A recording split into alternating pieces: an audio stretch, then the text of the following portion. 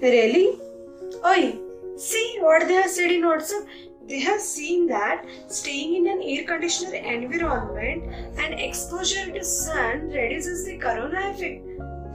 Wow, it's a forwarded message, guys. You know, you do one thing. You go and stand in the balcony and get the sunrise. I'll ask for a god to get you some rays, okay? And also I'll ask the other fellow to switch on the AC. You just do it, guys. Just go everyone, okay?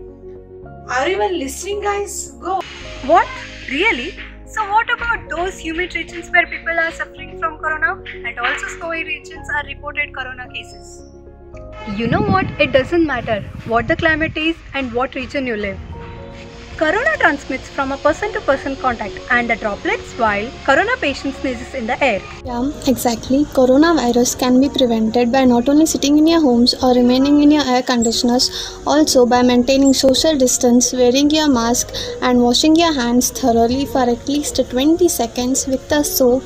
And when you sneeze or cough, you make sure that you cover your mouth with your hands and avoid touching your eyes and nose. Seems like you really cannot predict how this virus is going to affect you as it is a very contagious virus. All about I can say is that please stay indoors, stay safe, and please maintain the uh, state's orders. But my WhatsApp group people, they have decided to gather at one place to pray to God, to be one, to be united, to fight against Corona, as I said by the government, right? Clear but getting together to prevent corona is not actually getting physically. But we can do it by maintaining social distance and hygiene. Staying away from every person to whom we don't want to affect is the what actually we are getting prevented. We living on rumors. Get yourself with official website of ministry of health and family welfare. Government of India has made the number available for coronavirus 911123978046. Yes, the time is tough. Yes, the pandemic has not ended. Yes, staying at home self quarantine is very difficult.